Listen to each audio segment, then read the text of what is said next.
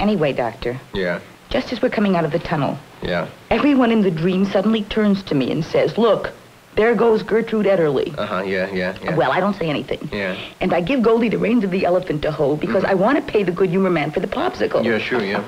Well, suddenly Goldie turns to me and she gets very uppity and she says, If you can afford a popsicle, hold your own elephant. She wouldn't take the elephant. No. well, what do you make of that? Well, uh, Mrs. Van Loon, you know, I, I see a pattern becoming clear in all of your dreams, and Yeah. I think uh, in this one it's unmistakable. Yeah. Your unconscious is telling you not to forget to file your income tax return early. You see, Yeah, yeah, the yeah. elephant becomes clear when you remember the deadline is April 15th.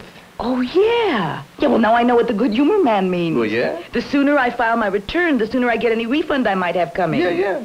Doctor, Mm. can I deduct you from my income tax? Don't be tasteless.